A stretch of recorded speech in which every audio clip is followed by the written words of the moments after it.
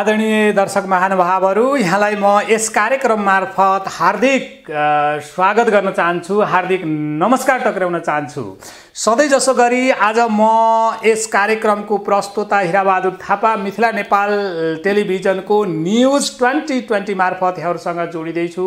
र हामीले अहिले यो विश्वव्यापी रूपमा देखिएको जुन कोरोना भाइरस समस्या जुन छ महामारी छ यो महामारीलाई सकेसम्म आम जनसमुदायहरूले कस्तो महसुस गरिराख्नु भएको छ।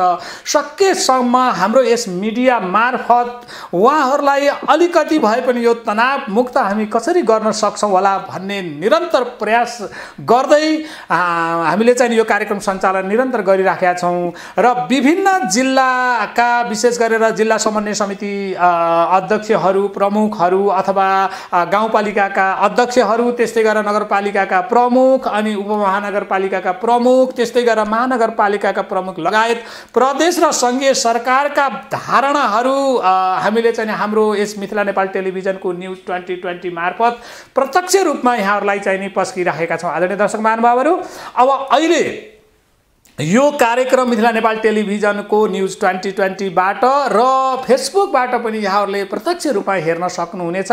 र अहिले हामी जोडिँदैछौँ सर्लाही जिल्लाको चक्र चक्रघट्टा गाउँपालिकाको अध्यक्षजी हुनुहुन्छ र उहाँ विक्रम यादव हुनुहुन्छ। मैले यस कार्यक्रम मार्फत विक्रम यादव सरलाई अथवा अध्यक्षज्यूलाई हार्दिक स्वागत गर्न चाहन्छु। धन्यवाद धन्यवाद यहाँलाई पुनः म धन्यवाद दिन चाहन्छु र अब मैले यहाँसँग विशेष गरेर यो चक्राघट्टा गाउँपालिकाको जनजीवन कस्तो छ र त्यहाँ अहिलेको यो महामारीबाट कतिको त्रास मुक्त यहाँले बनाउनु भएको छ त्यसको बारेमा राखिदिनुहोस् न अध्यक्षज्यू अब अहिले निश्चित नै पहिले भन्दा हाम्रो जनजीवनहरू अलिकति अस्तव्यस्त भएको छ। तुलनात्मक रूपमा। किनभने यही दुई महिना पहिले तिन महिना पहिले जति सहज हिसाबले सबै थोक पाउँथ्यो हामी सहज रूपले खुला रूपले घुम्न पाउँथ्यौँ। खुला रूपले हामी एक ठाउँमा बसेर विभिन्न कुराहरूको चर्चा परिचर्चा गर्ने अवस्था थियो। त्यो सबै अहिले एकदम न्यून अवस्थामा गएको छ। यो ठुलो एउटा हामीलाई सामाजिक दूरी भन्दा पनि एउटा आपसी दूरी भएको अनुभूति हुँदैछ। अनि त्यसपछि अर्को कुरा के छ भने त्रसित वातावरण दिनानुदिन बढ्दै गएको छ। किनभने हाम्रो देश पनि अब भनौँ न यो हाफ सेन्चुरी काट्यो। आजदेखि पचासवटा जुन पचासभन्दा बढी एकाउन्न बाहन्नवटा सङ्क्रमित फेला परिसकेपछि वातावरण पहिलेभन्दा एकदमै त्रसित भएको छ। अब मान्छेहरू पहिलेभन्दा जागरुक पनि भइसकेका छन्। अप्ठ्यारो छ। पहिलेको भन्दा धेरै अप्ठ्यारो भएको छ अहिले हामीहरू हामीहरूलाई। पक्कै पनि यो विश्वव्यापी रूपमा आम जनसमुदायलाई त्रसित बनाउने जुन यो भाइरस छ कोरोना भाइरस छ यसले हामीलाई पनि बनाएको छ यहाँले जुन आशय व्यक्त गर्नुभयो जुन स्वाभाविक पनि हो। तर अब हामीले यसबाट त्रसित भएर वास्तवमा झन् यसले हामीलाई पेल्छ त्यसो भएको हुनाले योसँग त्रसित हुनभन्दा पनि केयरफुल हुनको लागि मैले आम जनसमुदायमा हार्दिक आह्वान गर्न चाहन्छु आदरणीय दर्शक महानुभावहरू। हामीले यसलाई केही गर्न सकिँदैन। र कम्तीमा पनि एउटा हाम्रो लकडाउनको जुन सिस्टम सरकारले लागू गरेको छ यसलाई पालना गऱ्यौँ भने अगाडि हाम्रो विक्रम यादव अध्यक्षज्यूले चक्रघट्टा गाउँपालिकाको अध्यक्षज्यूले भन्नुभयो अहिलेको अवस्था भनेको हामीले पचास काटेको अवस्था हो त्यसो भएको हुनाले अझै पनि त्रसित मुडमा छ अझै वातावरण अलिकति वृद्धि हुँदै गएको अवस्था पनि छ भन्नुभयो। यहाँलाई धेरै धेरै धन्यवाद। अब म के भन्न चाहन्छु भने यो चक्रघट्टा जुन गाउँपालिका छ यो गाउँपालिका विशेष गरेर भारतीय सिमानासँग जोडिएको गाउँपालिका हो कि होइन यसको बारेमा पनि अलिक प्रश्न पारिदिनुहोस् न अध्यक्ष यो कस्तो छ भने हाम्रो पालिका भारतीय सीमा भन्दा एउटा पालिका पछिको पालिका हो। हजुर हजुर। है अब अर्को कुरा कस्तो छ भने हाम्रो गाउँपालिकामा अब अहिले आएर पन्जाबबाट लुधियानाबाट जति पनि काम गर्ने यो अलिकति तल्लो जातको होइन यो अलिकति विपन्न जातका भनौँ यो अलिक दलित जातका जुन व्यक्तिहरू हुनुहुन्थ्यो उहाँहरूको अहिले फर्किने क्रम एकदम ज्यादै मात्रामा बढेको छ। त्यसले गर्दा हामीलाई अलिकति अप्ठ्यारो अलिकति असहज वातावरण सिर्जना गरेकै हो। यसमा अलिकति अब हामीहरूसँग अब यो जस्तै यो विश्व महामारी कोभिड नाइन्टिन यो जुन कोरोना भाइरसको जुन प्रकोप आएको छ हाम्रो देशमा पनि यसमा अब विभिन्न ठुला ठुला राष्ट्रहरू उहाँहरूले एमबिबिएस एमडी त्योभन्दा नि माथिल्लो अध्ययनशील डाक्टरहरूलाई लगाएर जुन खोजी नीति गर्दै हुनुहुन्छ अहिले हाम्रो पालिकाहरूको लागि एउटा कस्तो ठुलो विडम्बना भयो भने हामीहरूले एमबिबिएस एमबिबिएस लेभलको डक्टरहरू पनि राख्न सकेका छैनौँ। यहाँ अहिले पनि सिएमए अयव एचएहरूको मार्फतमा राखेर हामीले चाहिँ काम गर्नुपर्ने वातावरण सिर्जना भएको छ। अब कतै न कतै हामीले यताबाट यो विभिन्न टेस्टहरू चाहिँ नियमित गराएकै छौँ। भारतबाट आएपछि उहाँहरूलाई यो टेस्ट गराइसकेपछि पनि अब हिजो अस्तिको मात्रै एउटा घटना हाम्रो सर्लाही जिल्लाकै यो धनकौल गाविसको एउटा सार्वजनिक भयो। त्यो पर्दै यहाँ चाहिँ ऱ्यापिड टेस्ट गर्दा पोजिटिभ देखियो। त्यसपछि जनकपुरमा लगेर त्यहाँ गर्दाखेरि नेगेटिभ देखियो। त्यसपछि फेरि काठमाडौँ टेकुबाट त्यसलाई पोजिटिभ प्रमाणित गरिसकेपछि अब वातावरण एकदमै भयावह भयो। हामीहरूलाई पनि एकदमै अप्ठ्यारो भइसकेको छ अहिले। अब कुन टेस्टलाई हामीले निर्धक्ताका साथ नेगेटिभ भनेर यसलाई पन्चाइदिने? या उहाँलाई चाहिँ नि स्वस्थ भनेर घरमा फर्काइदिने? त्यसले गर्दा यी चुनौतीहरू छन् हामी कहाँ? त्यही पनि अघि तपाईँहरूले भन्नुभएको जस्तै हामी स्थानीय कृपया एकाउन्ट रिचार्ज गर्न एक डायल गर्नुहोला। ग्राहक सेवा केन्द्रमा सम्पर्क गर्न शून्य डायल गर्नुहोला। Press one to recharge your account press zero to contact customer care centre त्यसले गर्दा म निरन्तरमा आफै पनि आफ्नो गाडीमा विभिन्न यो स्वास्थ्यका जुन यो सेनिटाइजरहरू ग्लभ मास्कहरू पनि आफ्नो गाडीमा राखेर पनि म निरन्तर अनुगमन गर्ने गरेको छु। कतै पनि कुनै एउटा बाहिरी मान्छेहरू या बाहिरी व्यक्तिहरू देखा परेमा उहाँहरूलाई तत्काल हाम्रो सुरक्षाकर्मी हाम्रो स्वास्थ्य कर्मीहरूको जिम्मा लगाएर उहाँलाई चाहिँ एउटा चेक जाँच गरेर तत्काल ऱ्यापिड टेस्ट जुन छ त्यो ऱ्यापिड टेस्ट पनि या तत्काल अहिले मतलब सुरुवाती दौरमा उहाँहरूलाई ज्वरोहरू नाप्ने त्यो त्यो सबै प्रक्रियाहरू पुरा गरेर अलिकति हामीले उहाँहरूलाई रुटिनमा लगेर अनि यहाँले यहाँले हजुर अध्यक्षज्यूले भन्नुभयो पन्जाब र लुधियानाबाट आउने जुन अहिले आउने क्रम हाम्रोमा बढेको छ के त्यो लकडाउनको भइसकेपछि पनि त्यहाँबाट आउने क्रम जारी छ अध्यक्षज्यू?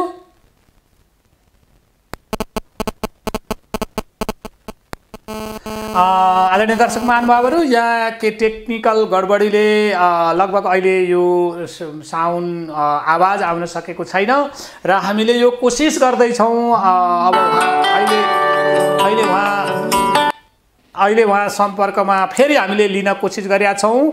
अध्यक्षज्यूले अहिले सुनिराख्नु भएको छ।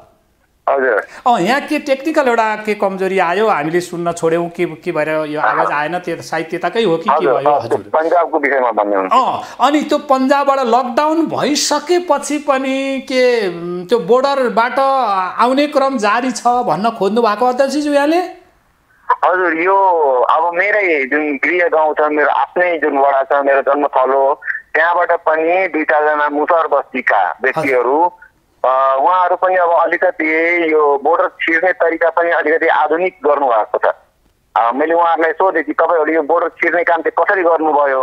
भन्दाखेरि उहाँहरूले के भन्नुभयो भने अहिले हामीले पत्ता लगायौँ उहीँ पन्जाबबाटै कि के कसरी छ देशको अवस्था भनेर उहाँहरूले भन्नुभयो। यहाँको नेपालको मान्छेहरूले अहिले बोर्डर सिल गरिएको छ बोर्डरमा आउन दिँदैन।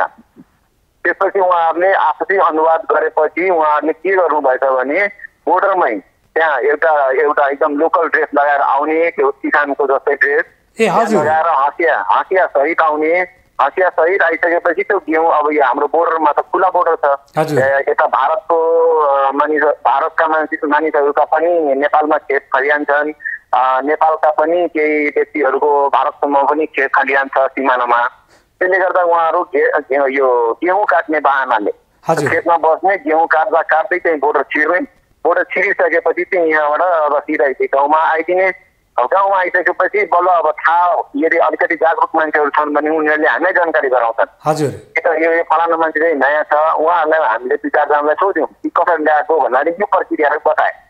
अब यो प्रक्रिया अप्नाउँदाखेरि सुरक्षा कर्मीहरूलाई पनि अलिकति अप्ठ्यारो हुन्छ कि हामी किसानलाई अहिले कसरी साइज गरिदिने कि तिनीहरू खेतमा नजाऊ। किनभने अहिले यो बालीहरू ओसार्ने समय छ गेहुँहरू छ किसानहरूको अब यो यो प्रवृत्तिहरूबाट चाहिँ उहाँहरू के अरे इन्डियाबाट चिर्ने नेपालमा चिर्ने जुन प्रक्रिया भएको छ त्यसले अलिकति हामीलाई चाहिँ अलिकति अवस्था चाहिँ गम्भीर बनाएको छ। भनेपछि त यहाँहरूको यहाँहरूभन्दा त अझै बोर्डरपट्टि एउटा गाउँपालिका पनि छ यहाँले भन्नुभयो। त्यो गाउँपालिकामा त अझै ठुलो समस्या होला नि त्यसो भए त है?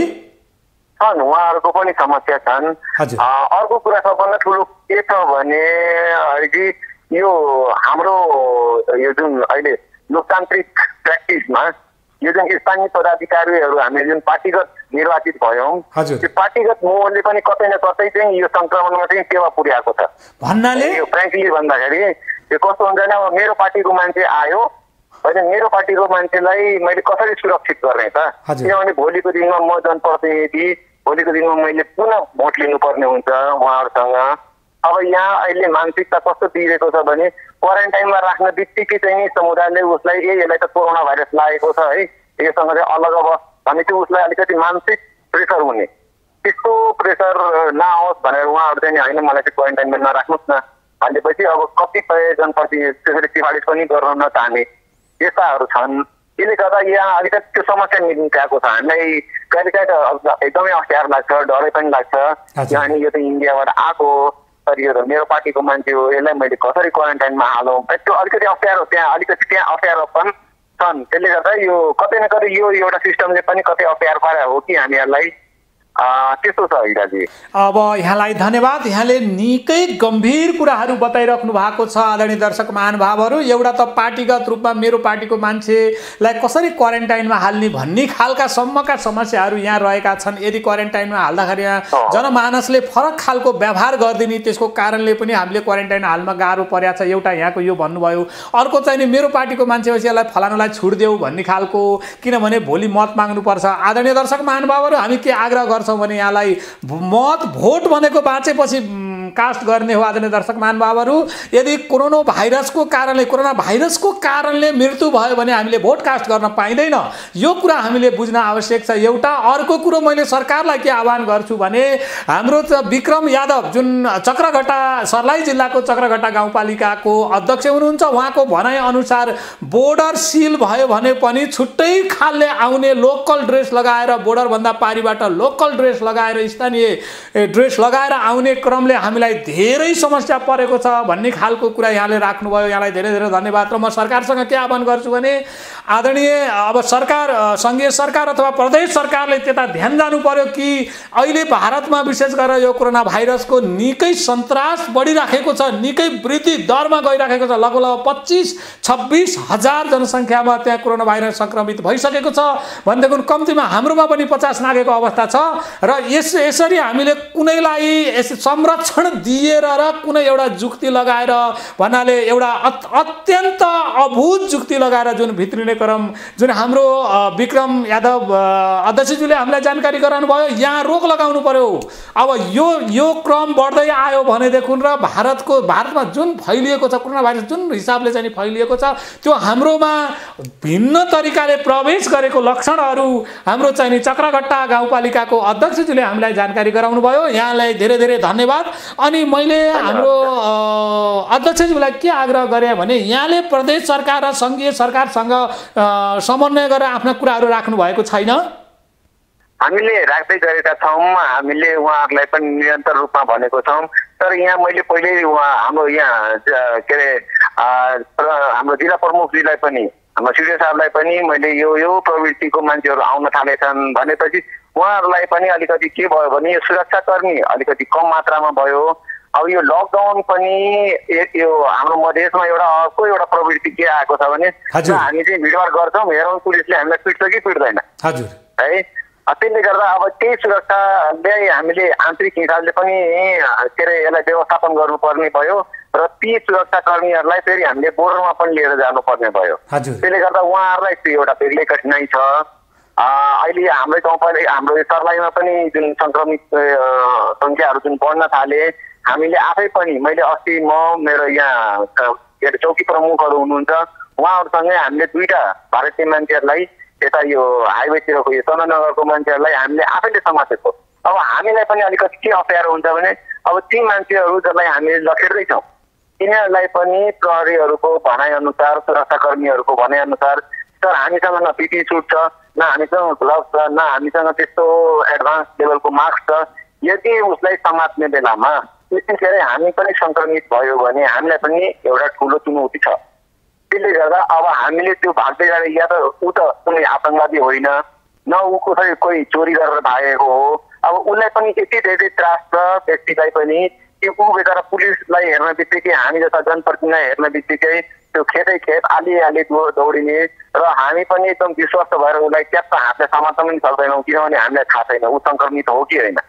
अब यो त्यसले गर्दा के के चाहिँ इत्यादि समस्याहरू छन् जसले गर्दा यो थप चुनौतीहरू चाहिँ यो प्रदेश सरकारलाई पनि या भनौँ न भोलिको दिनमा केन्द्र सरकारलाई पनि उहाँहरूलाई पनि लिमिटेड सोर्स सुरक्षाकर्मीहरू पनि स्वास्थ्यकर्मीहरू पनि त्यसले गर्दा उहाँहरूलाई पनि हामीले प्रोत्साहन हिसाबले विभिन्न भत्ताको हिसाबले विभिन्न खाजा अनेक सुविधाको हिसाबले उहाँलाई प्रोत्साहित गरेर हामी उहाँहरूलाई दिने दिन रात चौबिस घन्टै हामीले खटाइरहेका छौँ।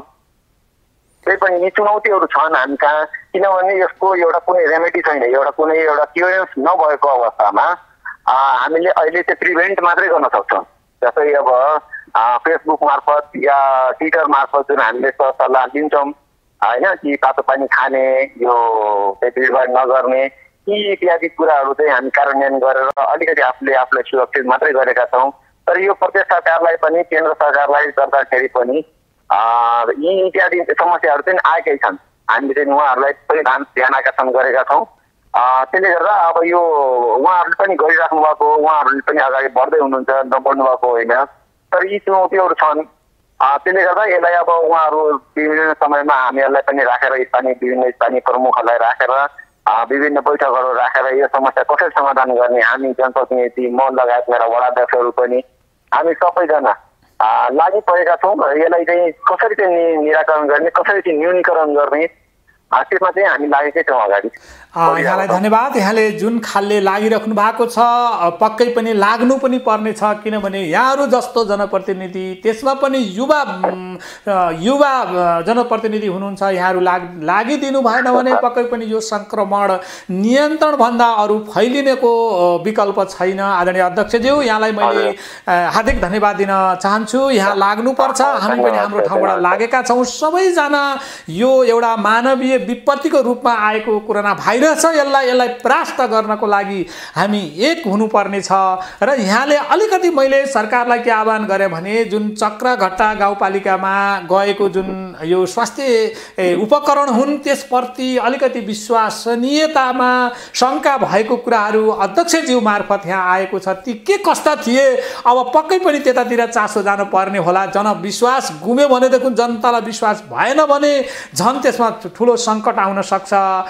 भन्दै मैले सरकार हाम्रो यो मिथिला नेपाल टेलिभिजनको न्युज ट्वेन्टी ट्वेन्टी मार्फत मैले सङ्घीय सरकार र प्रदेश सरकारलाई के आह्वान गरेँ भने यहाँहरूले चासो दिनुपर्छ किनभने पहिलो एउटा स्रोत सम्पन्न संस्था बनेको तपाईँहरू हो र गाउँपालिकालाई सकेसम्म सुरक्षित बनाउनको लागि यहाँले पहल गर्न आवश्यक छ पहल गर्नुपर्छ र त्यहाँ जुन खालको अभाव छ र हाम्रो गाउँपालिकाको अध्यक्षज्यूलाई जुन शङ्का उत्पन्न भएको छ। उहाँलाई त्रास जुन जुन खालको एउटा चाहिँ नि भया सिर्जना भएको छ यो हामी सबै मिलेर उहाँको भयलाई मुक्त गराउनको लागि र उहाँ मार्फत आम जनतालाई चक्रघट्टा गाउँपालिकाका आम जनतालाई मुक्त गराउनको लागि हामी प्रयत्नरत रहौँ र रहनेछौँ भन्दै फेरि म अध्यक्षज्यूसँग पुनः जोडिएँ र मैले अब यहाँहरूले जुन विपदको जुन बढ्दो अवस्थामा पनि छ त्यो विपद व्यवस्थापनको लागि छुट्टै कोषको व्यवस्था गर्नुभएको छ कि छैन अध्यक्षज्यू?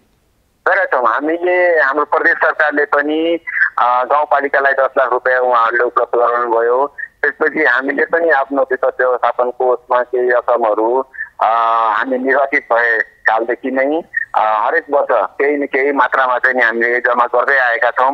अहिले पनि हामीले विभिन्न ठाउँहरूमा विभिन्न यो एकदम विपदमा परेका या भनौँ न लेबर क्लास का जुन व्यक्तिहरू छन् परिवारहरू छन् उहाँहरूलाई अहिले हामीले राहत वितरणहरू गर्दैछौँ। यो राहत वितरण गर्दाखेरि पनि अलिकति अब यो कस्तो भने व्यवहारिक कठिनाइ हामीलाई एकदमै अप्ठ्यारो हुन गयो। जस्तै जस्तै अध्यक्षज्यू हजुर यो कस्तो अप्ठ्यारो भयो भन्दाखेरि हामी अब केन्द्र सरकारले जुन एउटा मापदण्ड बनाउनु भयो एउटा कार्यविधि बनाउनु भयो कि वडा अध्यक्षको संयोजकत्वमा चाहिँ एउटा राहत वितरण समिति गठन गर्ने त्यसमा चाहिँ नि उहाँको वडामा जुन राजनीति ऊ छन् राजनीति दलका प्रतिनिधिहरू उहाँहरूलाई पनि त्यो समितिमा राख्ने प्रधानाध्यापकलाई राख्ने सुरक्षाकर्मीलाई राख्ने इत्यादि सबै समूह एउटा समिति गठन गरिसकेपछि जब चाहिँ राहत वितरण गर्नुपर्ने भयो। राहत वितरण गर्ने बेलामा अब मैले पहिले नै जुन भने नि यो हानिहरूमा अझै पनि राजनीतिक स्वार्थ लुकेको हुन्छ।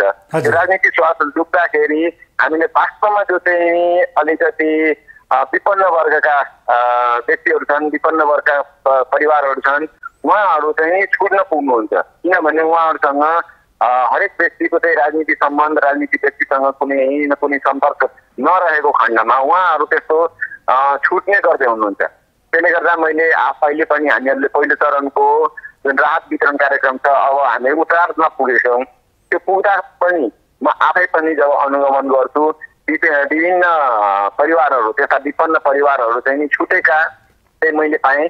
उहाँहरूलाई पनि मैले स्पेसली बोर्डबाटै एउटा अलिकति सानो प्याकेज दिने गराएर र हाम्रो यो सङ्घीय सरकारका अहिले श्रम मन्त्री हुनुहुन्छ उहाँ मेरो बुवा पनि हुनुहुन्छ। उहाँले पनि उहाँले पनि हामीलाई सहयोग गर्नुभएको छ केही खाद्यान्न सामग्रीहरू केही स्वास्थ्यका सामग्रीहरू। हो त्यो सामग्रीहरू पनि म एउटा कार्यपालिकाको मार्फत चाहिँ त्यसलाई अनुमोदन गराएर ती व्यक्तिहरूलाई पहिचान गराइ चाहिँ उहाँहरूलाई हस्तान्तरण गर्ने कार्यक्रमहरू चाहिँ हामीले अगाडि थालेका छौँ। हजुर हजुर। त्यसले गर्दा यसलाई अलिकति हामीले सहज छेट्याउँदैछौँ। र अलिकति अब काम गर्दाखेरि कठिनाइ हुन्छ नहुने होइन। काम गर्दाखेरि असन्तुष्टि पक्षहरू पनि हुन्छन्। त्यो एकदमै सय पर्सेन्ट हुँदैन भन्ने छैन। तै पनि सबै समस्या आए पनि हामीले चाहिँ यो समय सबै समस्यालाई आत्मसात गर्दै विभिन्न निकायहरूबाट विभिन्न सङ्घ संस्थाहरूबाट केन्द्र सरकार प्रदेश सरकारहरूबाट जुन निरन्तर सहयोगहरू आइरहेका छन् उहाँहरूलाई अलिकति व्यवस्थित गर्दै चाहिँ हामी अगाडि बढिरहेका छौँ।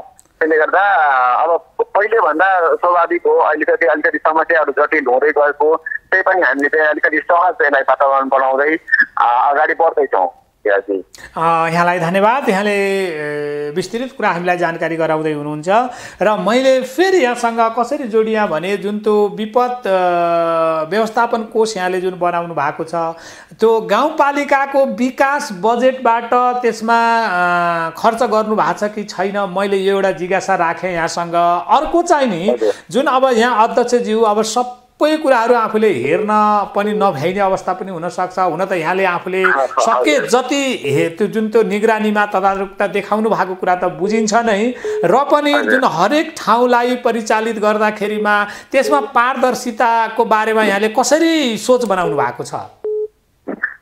यो जुन पारदर्शिताको जुन कुरा गर्नुभयो यो चाहिँ एकदमै हामीहरूको लागि एउटा ठुलो चुनौती र यो ठुलो आफूले हामीले आफूले आफूलाई साबित गर्ने एउटा ठुलो माध्यम हो हाम्रो जनतामाझ त्यसले गर्दा हामीले चाहिँ के गर्यौँ भने जुन मैले अघि भने नि कि हाम्रो केन्द्रीय सरकार प्रदेश सरकारले जुन एउटा कार्यनिर्देशन कार्य कार्यनिर्देशिका जुन हामीलाई दिनुभएको छ ती मापदण्ड अनुसार हामीले चाहिँ त्यो समिति गठन गरेका छौँ ती समिति गठन भइसकेपछि हामीले ती नामहरू सङ्कलन गऱ्यौँ ती नाम सङ्कलन गरिसकेपछि तिनीहरूलाई सार्वजनिकीकरण गऱ्यौँ उहाँहरूलाई त्यो नोटिस बोर्डहरूमा वडा कार्यालयका नोटिस बोर्डहरूमा हामीले टाँस्न लगायौँ वडा अध्यक्षहरूलाई निवेदन गरेर। र त्यसपछि त्यो सर्वदलीय निर्णय गराइसकेपछि हामीले उहाँहरूलाई राहत वितरण गरायौँ।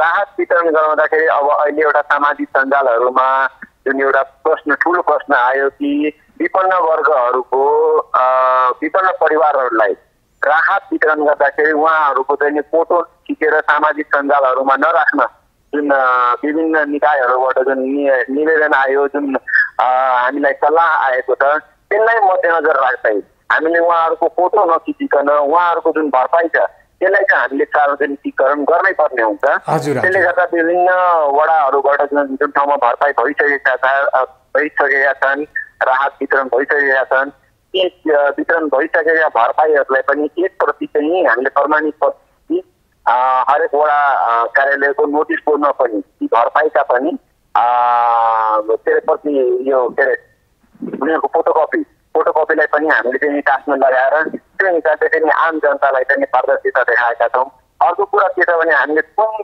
सामान कति रकममा लिएको र कुन प्रक्रियामा लिएको यी सबै पनि अब यो सम्पूर्ण वडामा वितरण भइसकेपछि हामीले एउटा सोसियल अडिट को हिसाबले हामी हरेक वडामा चाहिँ एउटा पारदर्शिताको हिसाबले हामीले यो दरले चामल किनेको यो दरले चाहिँ नेपाल किनेको यो संस्थाबाट किनेको त्यो सबै कागजातहरू सहित चाहिँ हामीले सोसियल अडिट हरेक वडामा चाहिँ त्यसरी गर्ने चाहिँ म लगायत मेरा कार्यपालिकाका सदस्य मेरा प्रशासकीय कर्मचारीहरू हामी त्यो हिसाबले चाहिँ माइन्डसेट गरेर अगाडि बढिरहेका छौँ यहाँलाई धन्यवाद पुनः धन्यवाद दिन्छु मैले। अब फेरि मैले यहाँसँग के के अनुरोध गरेँ भनेदेखि जस्तै अहिले यहाँले जुन यो गाउँपालिकाको विशेष त बजेट यहाँले कति विनियोजन गर्नुभएको थियो एउटा मैले त्यो गरेँ र र त्यसलाई त्यो भनौँ न विभिन्न ठाउँबाट जस्तै व्यापार व्यापार भनौँ व्यवसाय गर्ने समूहबाट यहाँले कतिको सहयोग पाउनु भएको छ।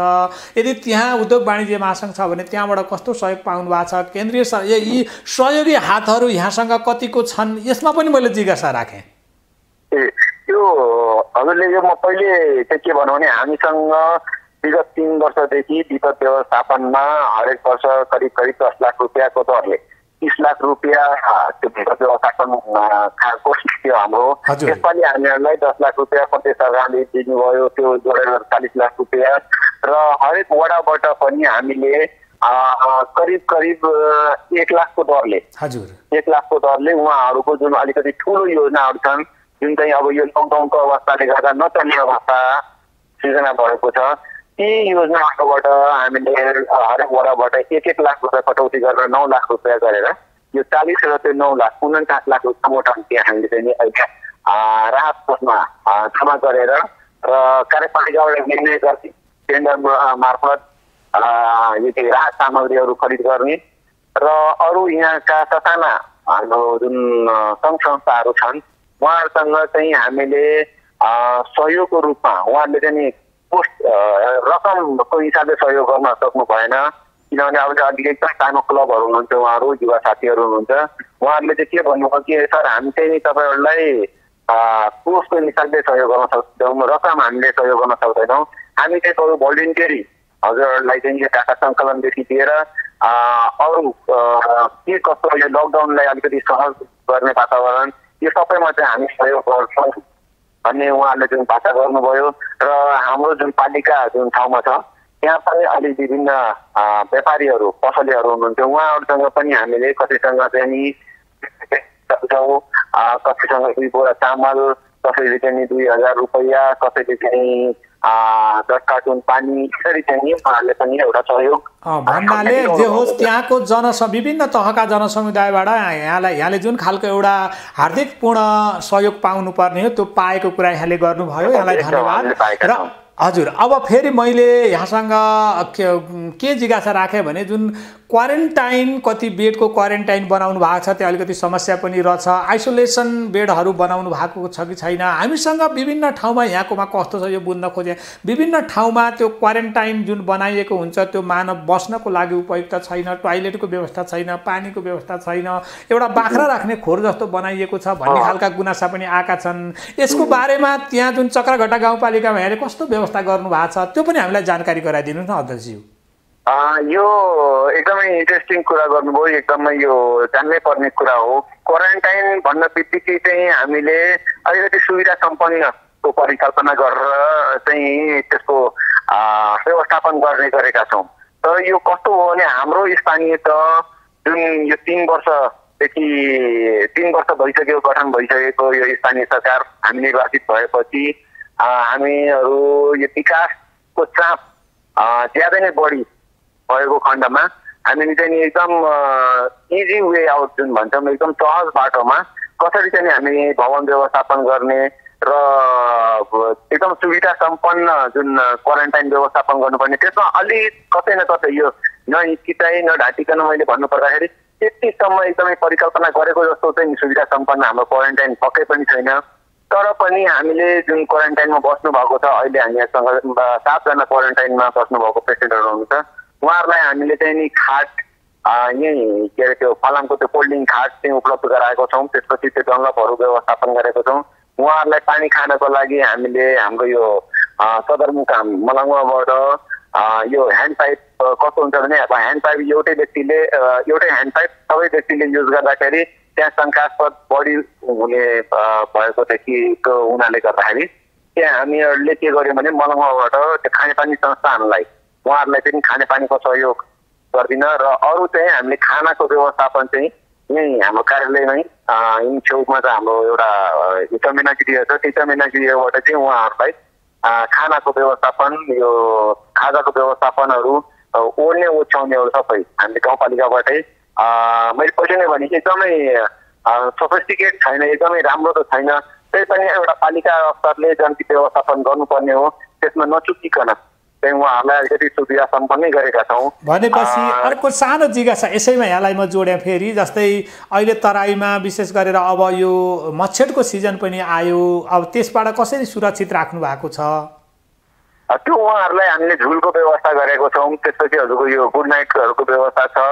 यो निर्माणाधीन हाम्रो भवन भएको हुनाले गर्दा उहाँहरूलाई एउटा छुट्टै टोयलेटको व्यवस्था त छ नै।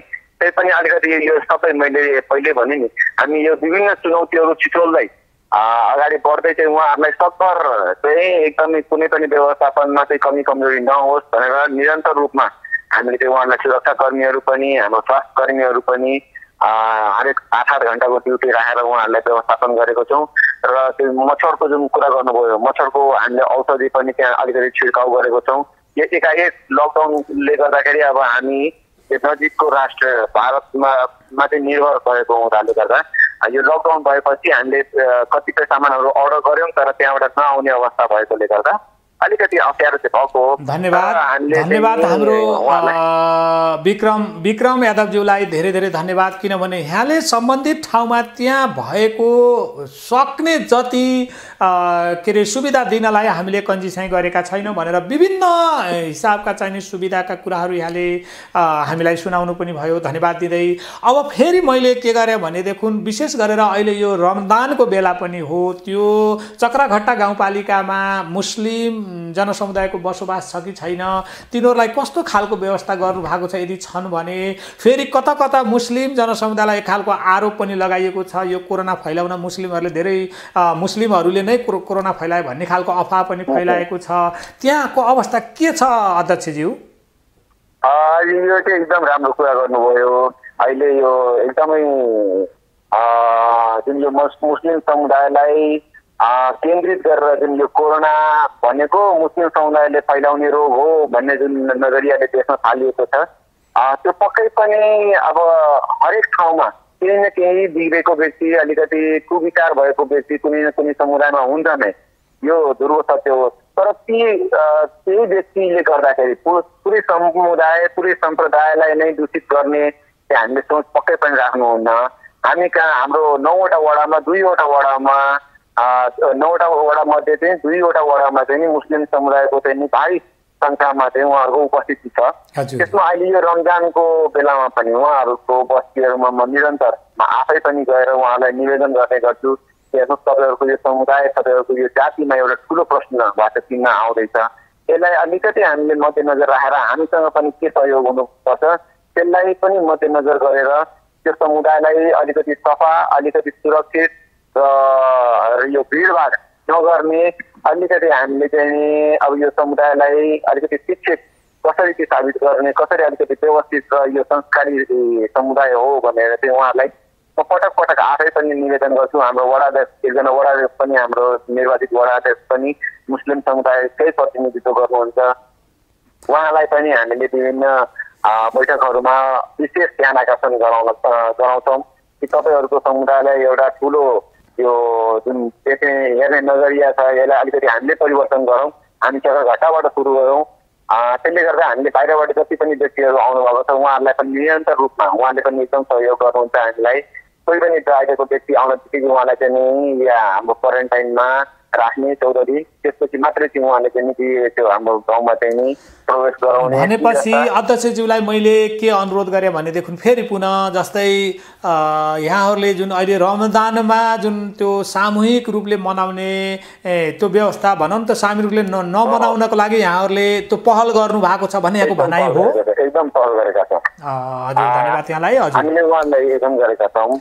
उहाँहरूलाई अलिकति अब अलिकति अप्ठ्यारो त महसुस होला नै किनभने यो हुँदै नभएको कुरा हामी किन गर्ने भन्ने केही व्यक्तिहरूलाई अलिकति पचाउन गाह्रो छ किनभने यो उहाँहरूको सम्प्रदायमा धक्का पर्ने उहाँहरूको त्यो समुदायमा धक्का पर्ने जुन वातावरण सिर्जना भयो उहाँहरूले नचाह नचाहँदै पनि उहाँहरूलाई पनि कहिलेकाहीँ ग्लानी महसुस हुन्छ कि सायद त्यो त हाम्रै समुदायको मान्छेले किन यस्तो गरेको हो? भने उहाँहरूलाई पनि अलिकति अप्ठ्यारो छ नभएको होइन पनि उहाँहरूले पनि हामीलाई सहयोग गर्नुहुन्छ उहाँहरूले भन्नुहुन्छ कि भाइ हिन्दू मुस्लिम भनेको त परापूर्वक कालदेखि आएको हो। तर हामीले हिन्दू मुस्लिम भन्दा पनि एउटा मानवीय जुन जाति छ यसको संरक्षण गर्नको लागि एकजुट हुनुपर्छ एक हिसाबले हामी हिँड्नुपर्छ भन्ने उहाँहरूको पनि धारमा आएकोले गर्दा हामीलाई पनि एकदम सहज भएको छ यो एउटा वातावरण बनाउनको लागि। धन्यवाद यहाँलाई। अब मैले के भन्छु भने जस्तै यो अहिले हाम्रो मानव विपत्तिको रूपमा देखिएको जुन कोरोना भाइरस छ मानवलाई सङ्कटको रूपमा मानवलाई संहार गर्नको लागि जुन एउटा कोरोना भाइरसको रूपले कोरोना भाइरसको रूपले अगाडि देखा परेको छ यसलाई परास्त गर्नको लागि सबै एक ठाउँमा हुनुपर्छ। यहाँ हिन्दू मुस्लिम अथवा चाहिँ बौद्ध इसाई कोही भन्नु हुँदैन। अहिले हाम्रो शत्रु एक मात्रै हो त्यो भनेको कोरोना भाइरस हो त्यसलाई हामीले परास्त गर्नु छ।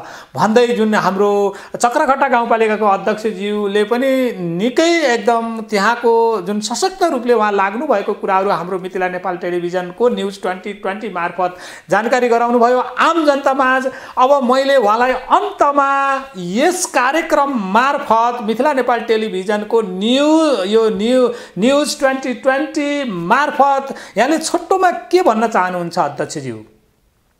सबभन्दा पहिले त म हाम्रो पुरै हजुरको जति पनि दर्शक हुनुहुन्छ श्रोता महानुभावहरू हुनुहुन्छ उहाँलाई म यो हाम्रो टेलिफोन मार्फत अब हेर्न त सक्नुहुन्न उहाँहरूले तैपनि म दुवै हात जोडेर ती सम्पूर्ण श्रोताहरूलाई ती सम्पूर्ण दर्शक मानवहरूलाई म के भन्न चाहन्छु भने हाम्रो सरकारले जे नीति निर्देशन दिनुभएको छ जसरी हाम्रो नजिक मित्र राष्ट्र भारतका जुन प्रधानमन्त्री अहोरात्र खट्दै चाहिँ एउटा नीति ल्याउनु भएको छ कि लकडाउन यो सबभन्दा प्रारम्भिक रूप भनेको हामीले लकडाउनलाई एकदम अवहेलना नगरिकन अलिकति नि हेलचेक्राइ नगरिकन आफै सुरक्षित बसौँ आफ्नो घर परिवारलाई सुरक्षित राखौँ र अर्को कुरा कस्तो छ भने यो भिडभाड नगर्थ्यौँ।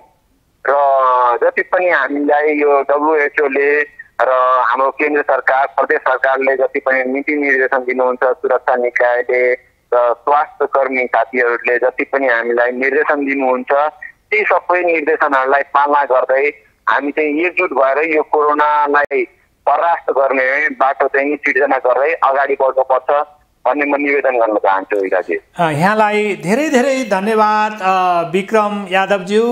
यहाँ आइदिनु भयो यो चक्रघट्टा गाउँपालिकाको अध्यक्षको हुनुहुँदो रहेछ हामीसँग सम्पर्कमा आउनुभयो र सर्लाही जिल्लाको पनि धेरै कुराहरू यहाँले हामीलाई जानकारी गर्नुभयो। यहाँलाई धेरै धेरै धन्यवाद दिँदै आदरणीय दर्शक महानुभावहरू। यहाँहरूलाई हाम्रो विक्रम यादवज्यू जुन यहाँहरूलाई धेरै कुरा जानकारी गराउनु भएको छ उहाँको भावना यहाँहरूलाई कस्तो लाग्यो र उहाँका केही विचारहरू उहाँले प्रस्तुत गर्नुभएको छ ती विचारहरू यहाँहरूलाई कस्तो लाग्यो सुनिदिनु होला। र यसलाई हामीले युट्युबमा पनि राख्छौँ र सिधै अहिले फेसबुक र टेलिभिजनबाट प्रत्यक्ष प्रसारण भइरहेको छ र यो युट्युबमा राखेको जुन हाम्रो विक्रम यादव अध्यक्षज्यूको जुन भावनालाई यहाँ यहाँहरूलाई कस्तो लाग्यो त्यसलाई चाहिँ नि कमेन्ट लेखिदिनु होला र त्यसलाई सब्सक्राइब गरेर धेरै मानिसमा पुर्याइदिनको लागि हामी आग्रह गर्दै फेरि यस्ता कार्यक्रमहरूबाट पुनः जोडिने बाचा गर्दै अहिलेलाई म यहाँहरूबाट बिदा हुन्छु। हस्त नमस्ते र धन्यवाद पनि।